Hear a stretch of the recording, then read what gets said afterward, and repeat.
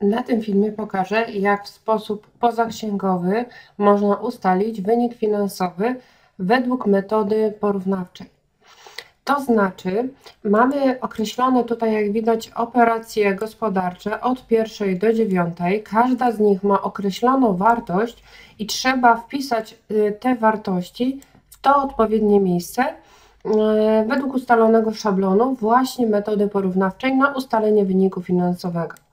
Po pierwsze, jeżeli jest informacja o rozliczeniu kosztów produkcji na 100 tysięcy złotych, to wiemy, jakie zostały poniesione tak zwane koszty rodzajowe. Możemy tutaj wpisać pozycję właśnie 100 tysięcy.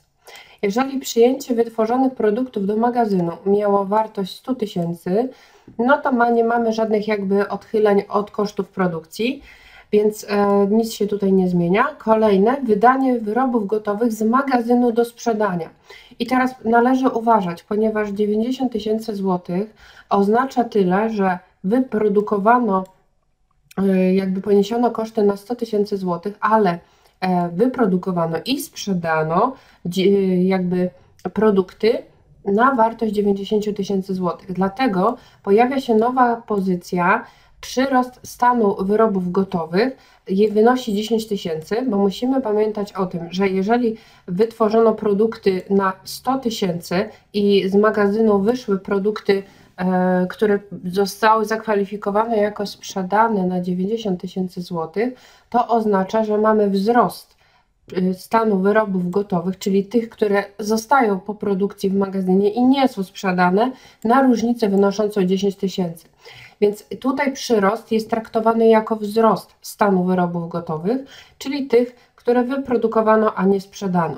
A więc e, możemy między kosztami rodzajowymi a przyrostem stanu wyrobów gotowych ustalić różnicę, czyli koszt wytworzonych, ale równocześnie sprzedanych wyrobów gotowych, czyli możemy powiedzieć, że 90 tysięcy złotych jest to w tym momencie wartość tego, co zostały wyprodukowane i sprzedane, bo my mamy ustalić wynik finansowy na produkcji i sprzedaży, a nie tylko na samej produkcji, bo to, że tutaj e, wyroby gotowe czekają na sprzedaż i one są warte w magazynie 10 tysięcy złotych, to nie oznacza, że to jest dla nas zarobek, to jest powiedzmy podstawa później do uzyskania dodatkowych przychodów ze sprzedaży wyrobów.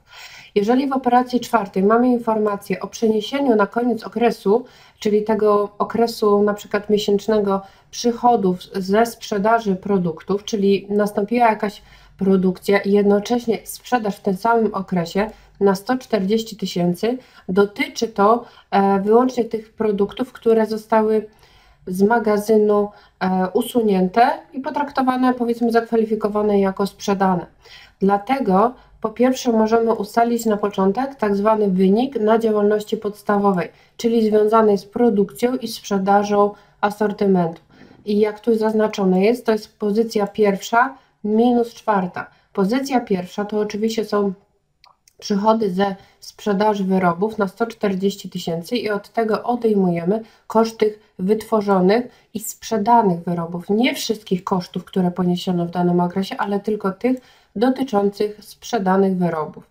Dlatego możemy powiedzieć wstępnie, że wynik na działalności podstawowej można e, to traktować jak zysk operacyjny, czyli związany z tą podstawową działalnością gospodarczą, możemy traktować na kwotę 50 tysięcy złotych uznawać, ale y, w związku z tym, że tutaj w tych zadaniach y, mamy określone takie pozycje jak straty nadzwyczajne, czy też zyski nadzwyczajne, my w tym momencie te dwie pozycje będziemy musieli e, uwzględnić w naszym e, wyniku finansowym, bo firma, jakakolwiek powiedzmy firma prowadząca działalność typowo produkcyjną i ewentualnie usługową, może się liczyć w wystąpieniu dodatkowych e, czynników, na które nie ma wpływ. Czasem przynoszą one dodatkowe korzyści, czasem ponosimy jakieś dodatkowe straty.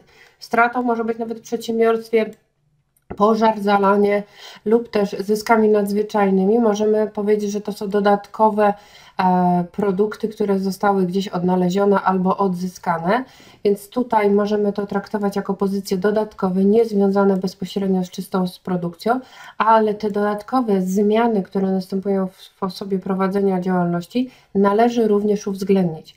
A więc jeżeli w pierwszym momencie na samej produkcji i sprzedaży produktów osiągamy 50 tysięcy złotych i dodatkowo zyskujemy z jakiegoś nieznanego nam powodu wstępnie określoną kwotę i jednocześnie e, ponosimy dodatkowe straty nadzwyczajne, mamy pewną pozycję, która e, będzie musiała być uwzględniona, bo jeżeli tu przykładowo pracując na liczbach zyskujemy 2000, a tracimy e, z niewiadomego jeszcze tak ogólnie pojęcia dodatkowe straty, to oznacza, że musimy uwzględnić stratę na dodatkowy 1000 zł.